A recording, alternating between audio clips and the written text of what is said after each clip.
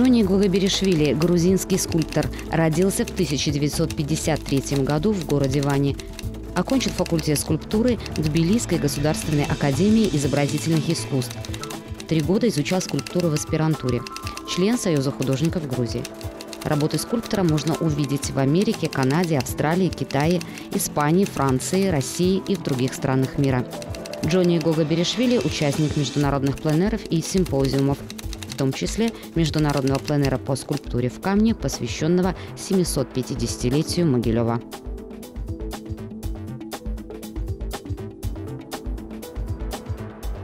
Я этим живу, и для меня искусство каждодневный, ежедневный, это с утра до вечера думаем. Ну, когда думаем, тоже это тоже работа. Ну, этим живем, потому что я люблю. Я люблю, и когда любишь, не можешь оторваться от него. И вот так вот продолжается давным-давно уже. Говорит, что искусство умер сегодня. Вот такие критики говорят, что искусство умер. Но я не считаю так, что искусство умер. И снова-снова меняется и рождается снова новыми, новыми подходами, новыми э, э, образами. Не так э, просто открывается все. Надо надо какой-то медитацию, надо какой-то там подход. Это какой-то секретный, какой-то обстановка, который мы э, стараемся открыть. Открыть, что это такое. И когда мы хотим приближаться вот, к истину, а истина всегда передвигается.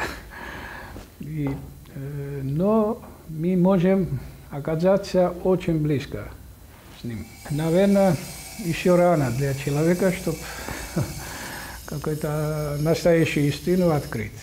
И еще рано, по-моему. Как раз, чтобы найти смысл, надо открыть истину.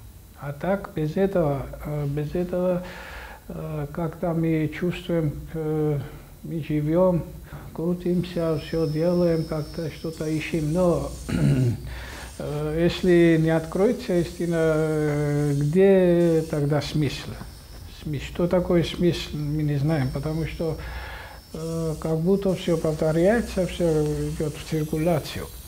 И, и это надо что-то, на, на что-то э, надеяться, чтобы или завтра, или послезавтра. На этом надеемся, что э, когда-то откроется это окно, и мы увидим, наверное, настоящий метафизический мир. я ищу вот, я ищу камни, например. Я знаю, что от камня идет большая энергия. Там внутренняя энергия, которую надо принимать, принимать точно как там есть. И надо, надо осознать и это внутренний язык камня. И тогда мы сможем с ним разговаривать. Мистически, потому что, во-первых, э, камни э, плотность такое. И всегда думаешь, откуда эта плотность. И рядом духовный мир и такой плотность вместе вот э, как они связаны друг друга. Все, все в секретах, все. Главное там эмоция. Эмоция это, э, как и Улья Крестева говорила, эмоция это космос. И камни тоже такой космос. Я думаю, что мы трогаем камень, мы как-то мы разрушаем его мир. И сделаем, ну, конечно, очень много шедевров сделано из камня. И в таком уровне, что э, он достиг высшего уровня. Египет, греческая скульптура, там это высший уровень. Потом это римляне начали повторять, потому что они сказали, что выше этого не бывает. Ну, сейчас, по-моему, искусство немножко э, какая-то пирамида, да, идет на другой, вот, низ идет, так. И когда дойдет до конца, создается настоящая пирамида, по-моему. И потом увидим еще, увидим, что, что откроется новое что-то. Надо ждать, не надо сразу, чтобы думать, что почему я не, все не открыл сразу. Это потихоньку придет. Может быть, в следующих годах и веках, наверное, я не знаю. Во-первых, надо большой опыт. Когда имеешь большой опыт, э, это уже ты камень уже подчиняется. Надо большой опыт, но, но потому я хожу по всему миру, и опыт получаешь от других э, менталитетов, от других э, стран. Бронза имеет другой язык. Там, например, бронза можно расплавлять, и там по-другому все. А камни по-другому. Вот, когда бронза, на бронзу думаешь, и выходишь изнутри. И, а камни наоборот, заходишь в камни. И это совершенно другое. Ну, сейчас э, в современном мире можно такой коллаж сделать. Вот, например, камень говорит на язык, бронза наоборот, камень бронза говорит на язык, там можно сложить другой язык. Иногда хочется, чтобы уйти вообще от этих языков и что-то новое найти, и уйти от, от своего тела, и бросаться в космос, чтобы что-то найти нового. Импровизация иногда помогает, на что-то помогает. Без импровизации э, трудно, потому что импровизация дает возможность, чтобы уйти от старых э, и как-то найти какую-то другую, другую дорогу, другая дорога. И, э, я считаю, что импровизация это дает другую жизнь. Другую жизнь дает э, искусство. Но они говорят, ну мы должны услышать, что они говорят. И там, там даже текст записан, а этот текст надо считать. И камни передвигаются, мы не замечаем, растут, тоже не замечаем. Надо очень тонко э, подходить с камнем. У меня такое ощущение, когда рядом с камнем. И мой подход такой, что лучше посмотреть камень и потом думать об этом. Заранее я не люблю, например, делать заранее, сделать или эскиз, или что-то. Потому что это эскиз для меня потом стареет, и не хочу это повторять. И я хочу сразу начинать прямо, как увижу камень, и чтобы вместе рождался идея, и так пошел. Чтобы это не стал старый. Я хочу, во-первых, чтобы э, диалог получился с камнем. Э, это долгий диалог.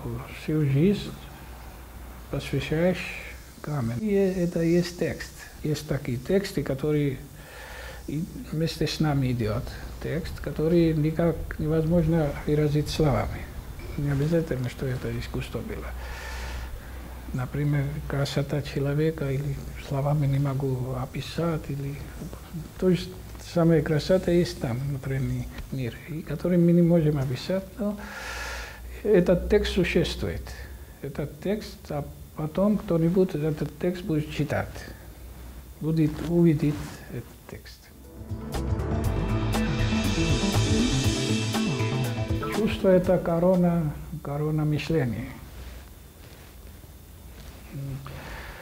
Э, потому что все заложено, там мы, мы этим живем. Если нет чувства, э, на высшем уровне, там, тогда ты не можешь, ты не можешь диалог создать, ничего не сможешь сделать. Никакой текст ничего не поможет.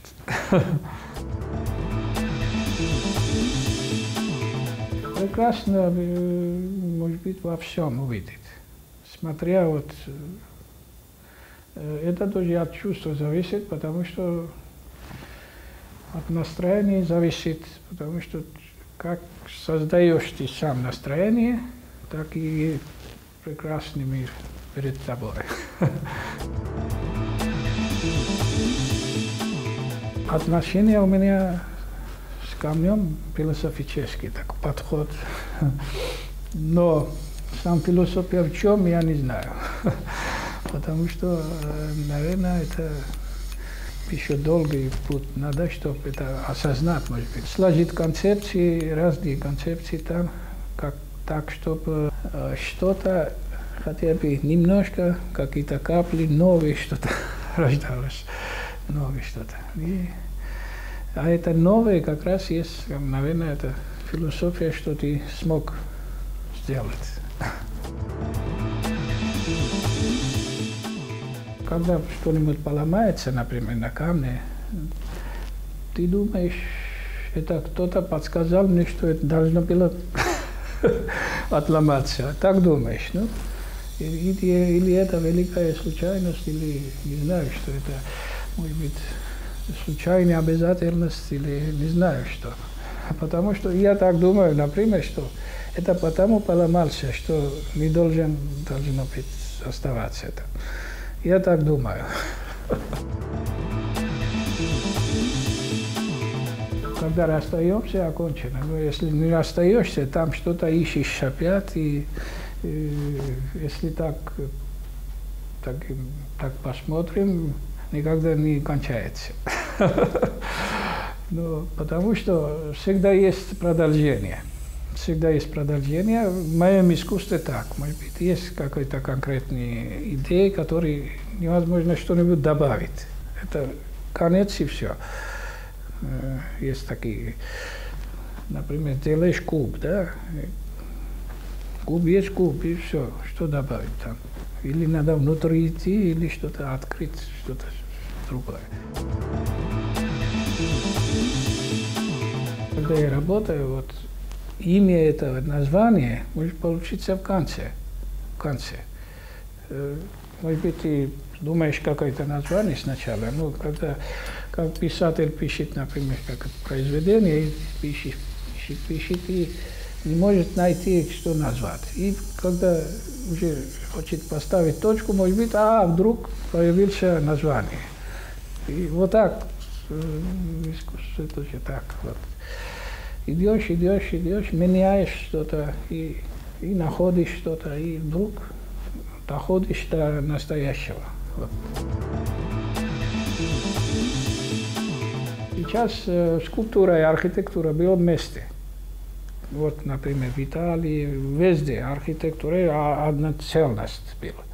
Сейчас они отошли от друг друга, и они создают свой мир – но э, и архитектура столько вещей взял из, из э, скульптуры, что архитектура уже стала скульптурой.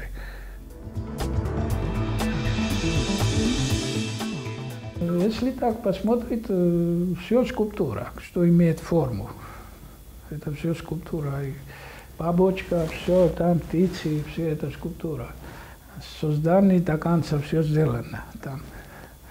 Ну, такие скульптуры есть, которые поют даже.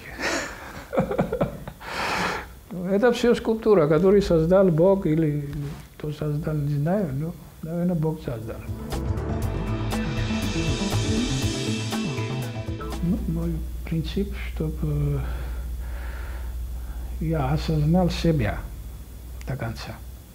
То, что моим заложено, чтобы это все я успел осознать, и все. Это мое кредо.